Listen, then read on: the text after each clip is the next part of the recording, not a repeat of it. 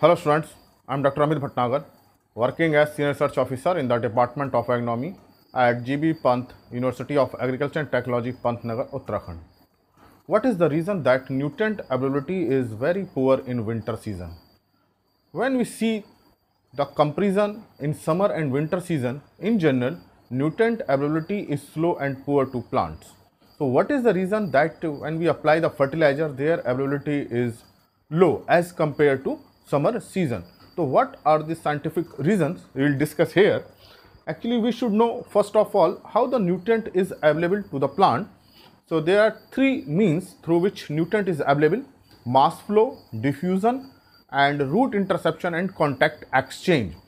And out of these three, two are important one mass flow, mass flow, and second one is diffusion.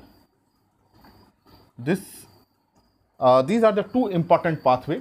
And third one is root interception. Root directly intercept and take the nutrient from the soil colloid. But the contribution of this root interception is very less uh, less than 1% or 2% that's why we do not consider uh, significantly. So major one are mass flow and diffusion.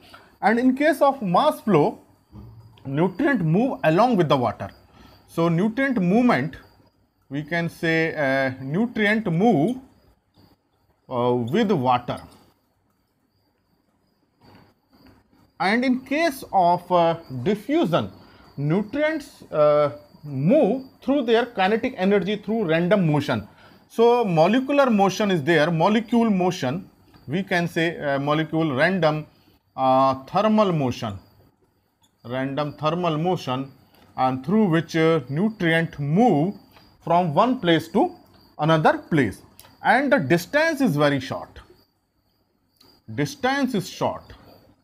While in case of this mass flow distance is long because they are moving with the water. So these uh, are the two important pathway. And the important nutrient which move through diffusion are uh, phosphorus uh, potassium uh, zinc and in case of mass flow nitrogen uh, sulfur these are the important uh, nutrient which uh, move through mass flow. So most of the nutrient remain in the soil solution. That's why they move through mass flow. So diffusion is generally for phosphorus potassium and zinc. So these are the uh, nutrient movement. Third one uh, the pathway or we can say the mechanism is the mineralization through which nutrients are released so mineralization this is responsible for nutrient release and these mechanisms are responsible for nutrient availability. So these mechanisms are slightly different. Mass flow and diffusion decide how much nutrient is available to the plant root while mineralization decide how much nutrient is released into the soil solution which is available for mass flow and diffusion. So first mineralization is there, nutrient release is there, then nutrient may move either through mass flow or diffusion. So it means the two important uh, uh, mechanisms number one nutrient availability for mass flow and uh, diffusion. Number two is the nutrient release means amount of nutrient.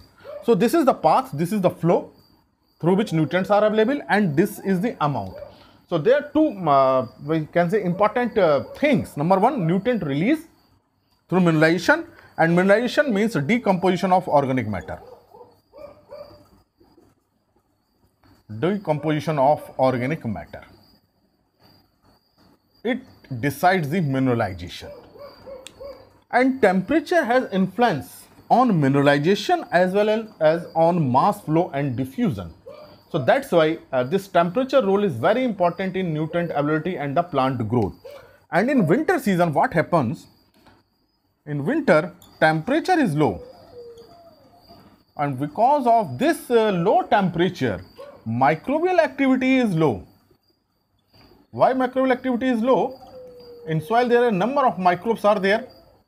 Psychrophilic which uh, require a very less temperature, mesophilic which require medium temperature about 30 to 35 degrees centigrade, thermophilic which require very high, uh, high temperature 50, 60, 70.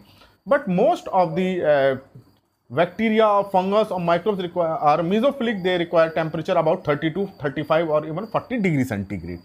And they have maximum participation in organic matter decomposition. So when temperature is low so maximum microbes have very low activity. So microbial activity is very low. That's why the mineralization activity is low so mineralization or we can say nutrient release is poor nutrient release is low. So that's why the total availability of the nutrient in the soil solution is very low. So this is the first uh, we can say impact of low temperature. So the total quantity of the nutrient is low as compared to summer season. In summer season, temperature is high, soil temperature is high, micro activity is more, more activity of bacteria, fungus, actinomycetes which take participates in decomposition of organic matter. So they have more maximum participation in decomposition. So nutrient release is there, mineralization is there. So more nutrient are available in the soil solution. Now, the another impact of temperature is that since temperature is low, so water movement because of low temperature molecular activity, we can say because of this low temperature uh, molecular molecule activity we can say is low and all substances have very low molecular activity because of low temperature, whether it is a iron, whether it is a metal, whether it is a, a soil or any particle. Molecule have very low activity at low temperature. As the temperature increases, their kinetic energy increases and their activity is more. This is obvious. This is a very simple process that at low temperature, the things uh, shrink because of low molecular activity. Molecules become close and at high temperature they move far away. So molecular activity is more. So in winter season because of low temperature this low molecular activity and because of this low molecular activity the movement of water is slow. The water movement is not fast and the diffusion is slow. So here mass flow and diffusion. Movement of water water movement and diffusion is slow uh, we, uh, we can slow so the availability to the plant root is low. So that's why the nutrient availability is poor. If we are applying the fertilizer, for, for example, we are applying urea, MOP, DAP, whatever fertilizer, they dissolved in water, but because of low temperature, their movement in soil is very low because of low molecular activity. So this is the mechanism because of low molecular activity, which reduces the water movement and diffusion. So that's why these processes are affected, number one. Number two, molecular activity uh, this microbial activity is low, so nutrient release is slow. So this is the another impact. So this is the reason that uh, whether it is nitrogen, phosphorus, zinc, calcium, magnesium, availability is low in winter season when we compare with the summer season. It is not like that the nutrients are not available. They are available. Their release is slow. Their ability to the plant root is slow. So that's why plant may suffer from this nutrient deficiency. So how we can overcome such type of problem? So we should uh, irrigate the field so that moisture is maintained, water is maintained and this water also regulate the soil uh, temperature and become uh, the soil to uh, very cold. So irrigation is necessary, frequent irrigation which keeps soil temperature, maintain the soil temperature and secondly uh, apply the, the nutrient through foliar application. So foliar spray.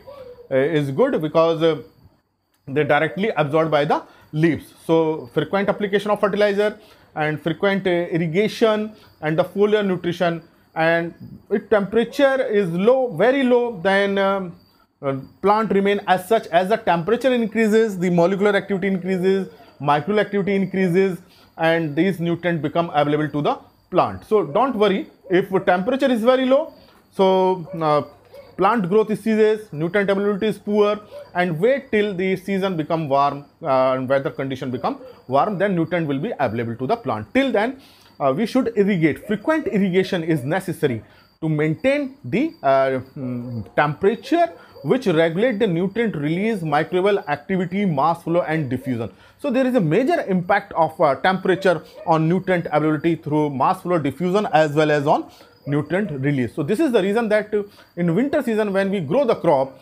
nutrient availability is low. But it is not like that the nutrient is not available. It is not like that. Nutrients are available.